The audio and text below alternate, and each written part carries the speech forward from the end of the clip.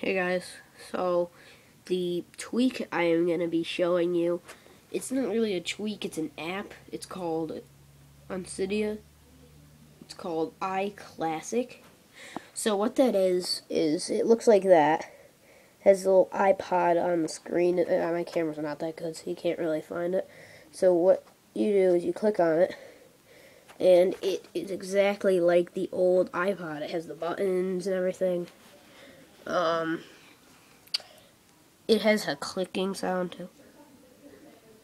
But you can't see like videos or play games on it. All you can do is play songs, but you have now playing. You have playlists that you can create in your actual music folder.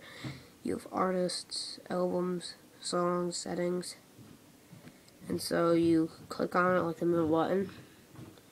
And you scroll down to what you want. So that is iClassic.